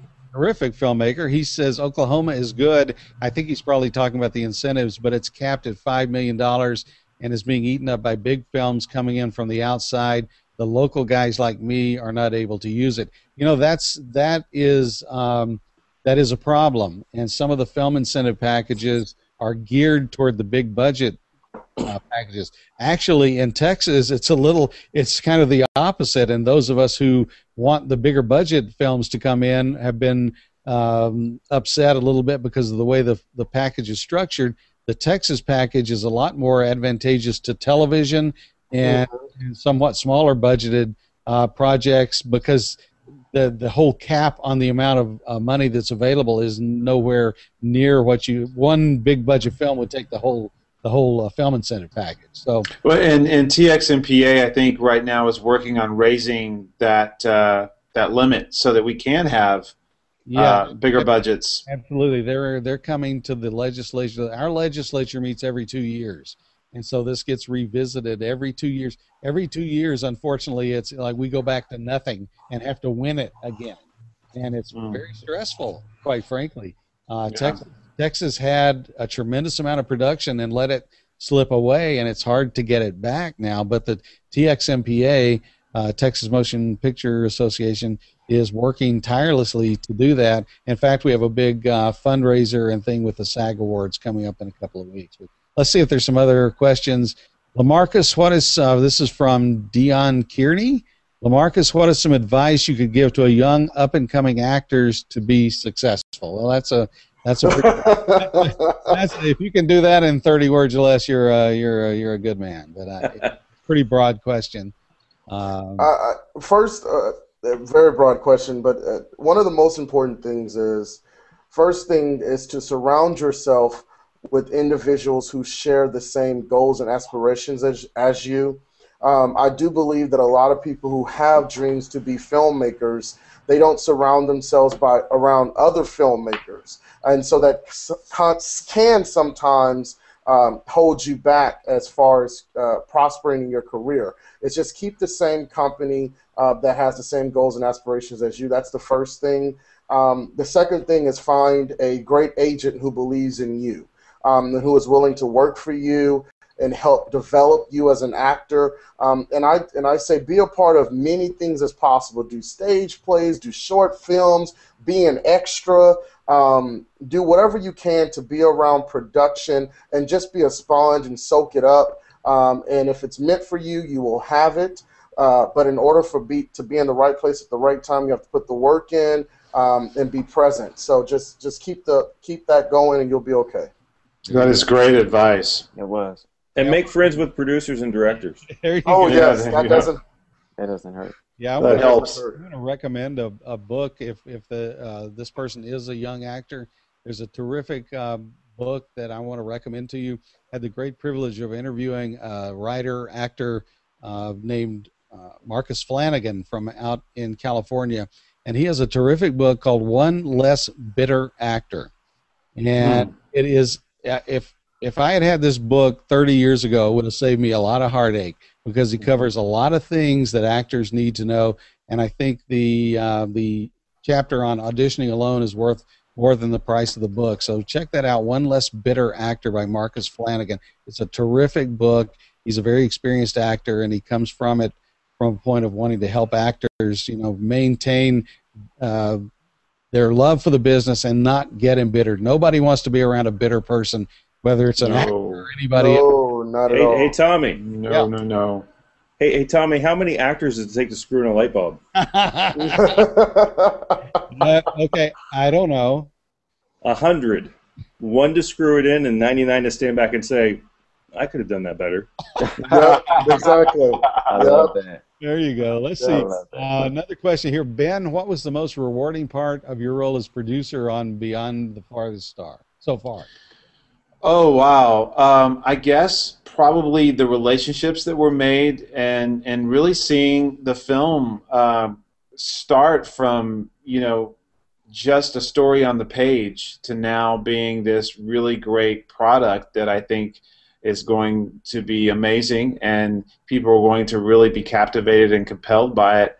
Um, and it's going to be on screens. I think that's the most rewarding part is that I had a hand in that to uh, take it from from a concept to reality and to see it up on screen. Cool. We have a. We're gonna have to wrap this up. I've held, held you guys for for too long, but I really appreciate it. But I do want to get these questions in because people were were kind enough to uh, submit them. Here's a question from Cynthia Tucker, and this might be a little bit broad as well, but maybe Lamarcus or any of you guys probably have some some advice to give her. She says, "I want to create a TV series bringing Bible stories to life. I have no background in film or TV at all. What do you suggest for me to begin learning the industry? How to hire directors, actors, raise money, uh, know how to how much money I need." Uh, I want to do, wow, okay. I want to do the complete Bible as it's never been done before. So I'm imagining 10 seasons or so. Well, it, it sounds like a really, really ambitious project. And my advice would be, first of all, to focus in maybe on, on a place to start. But would any of you guys have any uh, advice for someone who just has no experience? You've got to start somewhere and get some experience, would be the thing. How would somebody go? Well, I would say just just in order to put yourself around um, individuals that are film filmmakers, uh, there's things that we do called film mixers, where different filmmakers and things of that nature in the community and in the surrounding cities will come together. I know Austin is a great place uh, where filmmakers are uh, where they do film mixers almost every weekend, and all these filmmakers get together, and you go and introduce yourself.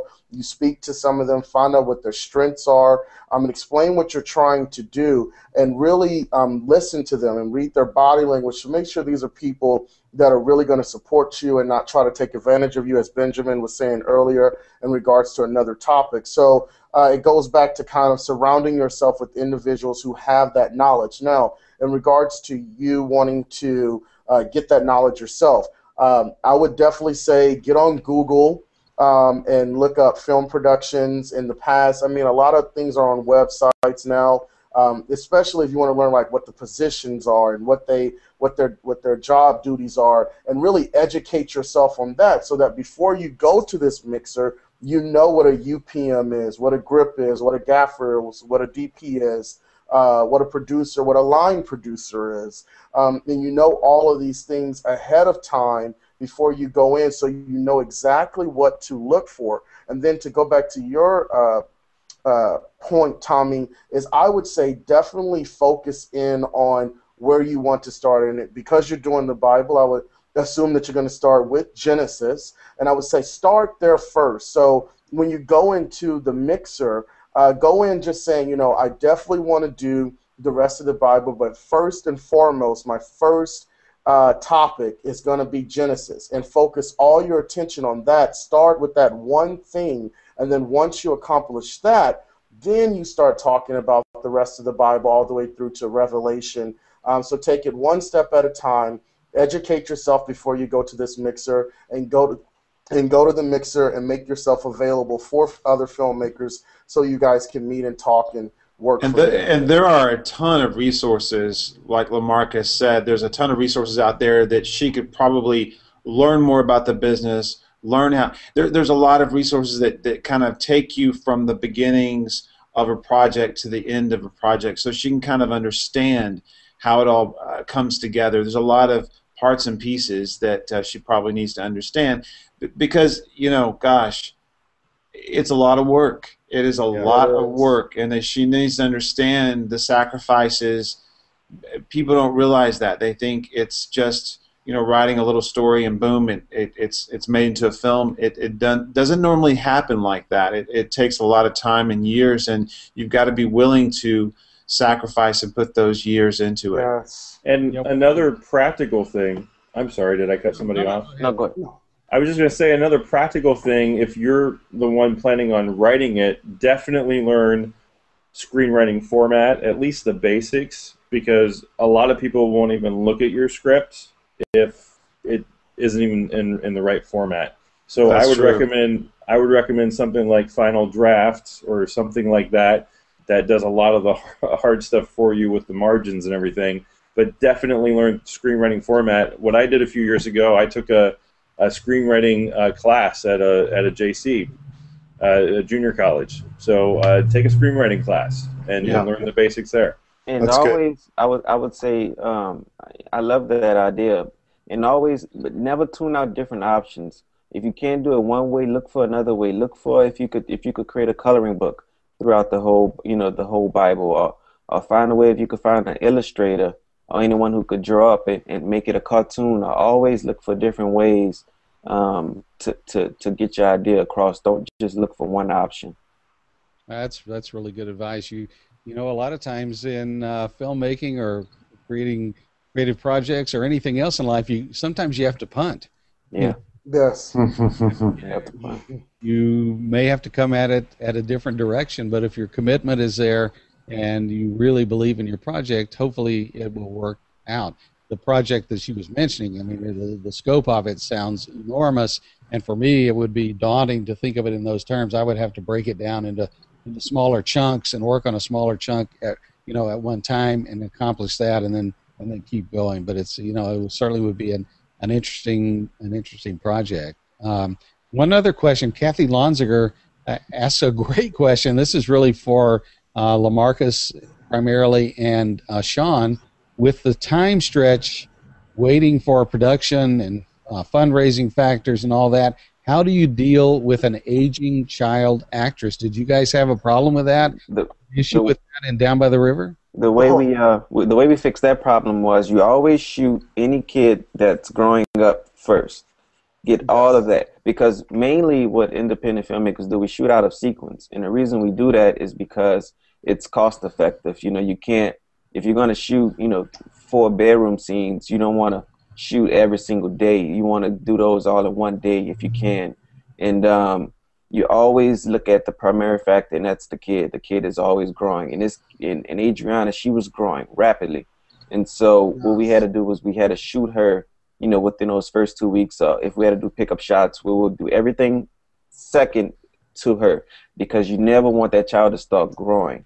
And a second thing, um, when you're working with a, uh, I wanted to mention this earlier make sure you you know the the laws that it, that it, it requires when you're working with a child actor because you don't want to work a child actor you know over a certain amount of hours or yes. you don't want to do anything like that because you can get yourself into you know a deep ditch and that's, that's one thing that we was very very keen on you know working with that actor and making sure we get her as quick as possible the safest way and the most um, the most you know that that that's under the law yeah, obviously, if you're working with underage actors, you have child labor laws to deal with.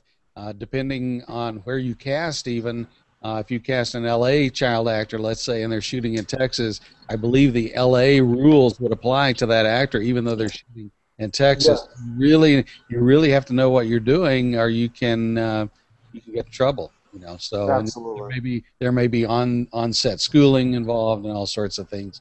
So it's um, you, you know you really want to you really want to think about uh, a project that has a child actor in it or, or animals as they say yeah. you know because those things can get really really expensive guys uh, i'm going to uh, sort of wrap it up here because we've been on quite a while and i, I don't want to abuse your time but um, give each of you the opportunity to add anything that you that we didn't get to touch on about your projects or about indie filmmaking that you want to make sure you make a point that that you had hoped to make um, uh, ben, I guess I can start start on the end with you. If there's anything uh, you want to offer, if not, then uh, that's okay too.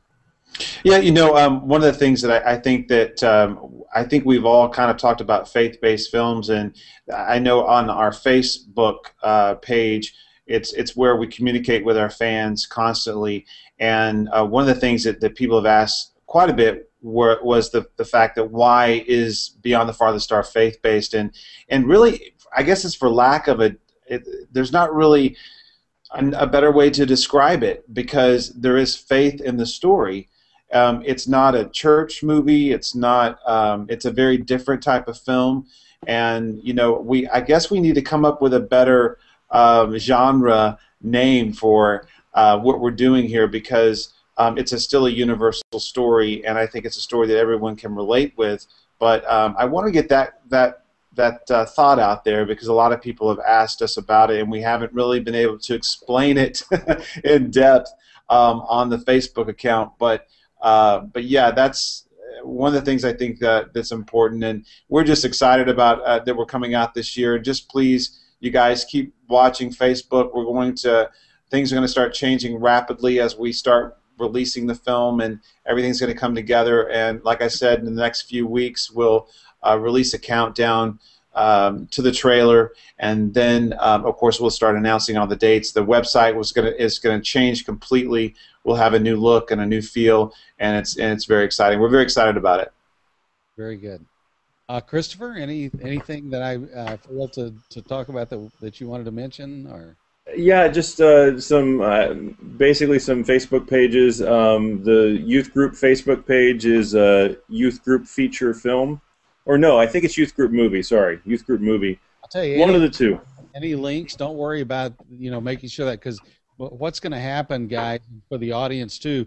Once the once this hangout on air ends, it actually gets automatically uploaded by Google to YouTube, and I'll probably pull it down and maybe put a front end on it so it looks nicer. But then it will live on YouTube and also on ActorsTalkPodcast.com. Uh, in a week or so, my next episode will be up, and I will make this an audio episode of the Actors Talk podcast, and I will have uh, blog post going with that that will have all the links to all of these projects right there where you can go to actorstalkpodcast.com and find the links uh, that you can go to each one of these uh, Facebook pages or websites or anything for each of uh, each of you gentlemen. Okay, so people okay. will be able to find all those links after we're done here. They don't need to try and write it down now or. Got it. Okay. So well, thank you for that, Tommy. So um, so check out the one nightstand. That's two words. One nightstand uh, trailer, which is a soon to be released short that um, I did with producer writer Gary Emmerich, and Thor Ramsey was also the star. Um, uh, check out the Familiar Spirits um, Facebook page. Check out the youth group trailer. Uh, which is again a trailer that we shot to envision people as to what the movie could look like. That movie is not shot yet. Please help. And um, and then just be on the lookout for other uh, wacky comedies and dramas here and there. There you go, Christopher. Thank you, Lamarcus. Um, I would say a very one of the most important, if not the most important thing that we've mentioned tonight, is making sure you have a great support system uh, when you get ready to take this journey as a filmmaker uh, because you cannot do it alone. Uh, by any means, uh, can you do this by yourself?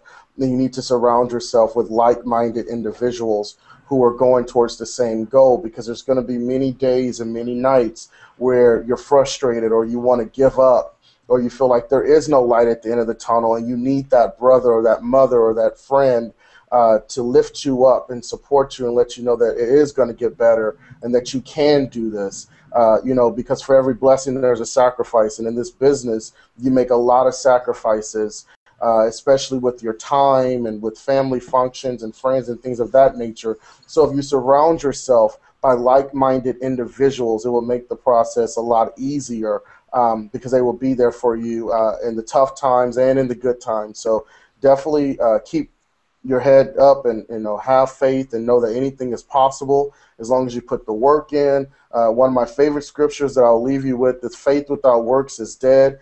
Um, you have to put in the work in order for God to do the rest and, and water those mm. seeds so that you can reap an amazing harvest. Um, and, I'll, And I'll leave you all with that and just continue to watch uh, Tommy's uh, Actors Talk podcast. We're really honored to be here. Continue to keep an eye out on 400's Facebook page and our Twitter. And also, please go visit our Indiegogo page and support us um, in making this project that's really important for independent filmmakers. Um, so we just thank you and uh, just keep the faith and uh, keep believing.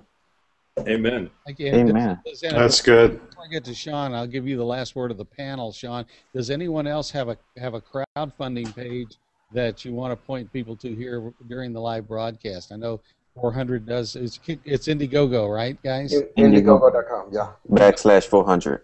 Okay. Anybody else uh, have a project that's on a crowdfunding page?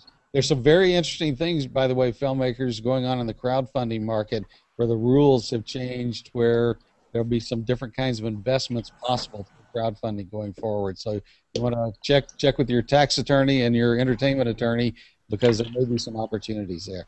Uh, Sean, did you have anything uh, to add?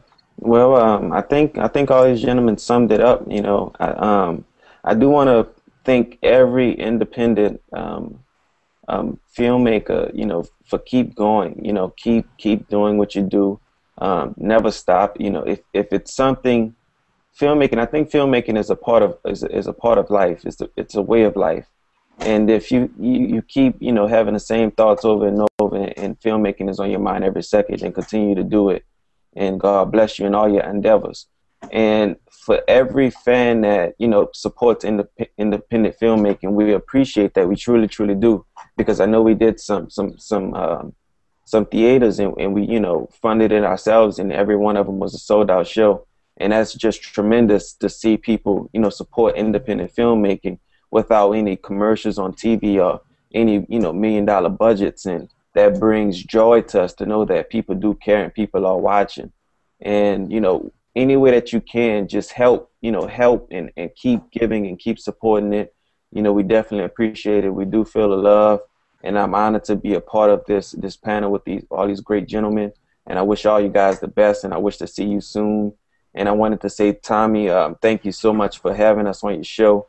Um, I'm such a fan, man. I love what you're doing. I love everything about it. Um, I'm, I'm just honored and humbled to even be here with you guys and to be in you guys' presence. So thank you very much for doing this for us. And yes, thank you, Tommy. Yes, yes, thank you. Thank you yes, very ditto, much. ditto on that. That's and we just Absolutely. appreciate you, Tommy, and everything you're doing to bring filmmakers and uh, to the forefront and acting. I mean, people need to know this stuff, and uh, we really appreciate that. Hey guys, thanks. Let me say a couple of words to the audience, and then hang. You guys hang in. Don't don't log off yet, because once we end the broadcast, I want to just give you a, a goodbye, a proper goodbye. Uh, as well. Audience, uh, thank you so much. If if you're out there watching live, or if sometime into the future now you find this video on YouTube, thank you for doing that. And I want to thank the panel. Benjamin Dane and Christopher Shawn Shaw, whose name I didn't mess up once. You know, I didn't call you Christopher Shawshank Redemption, not one time. Thank you, sir.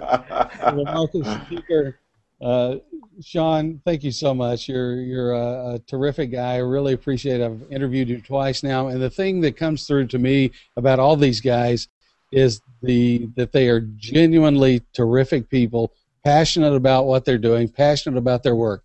Now, for you people out there who are not uh, faith-based people, I hope that you have gotten a glimpse of the kind of projects that people of faith can do that aren't necessarily tied to be preachy sermonettes or something.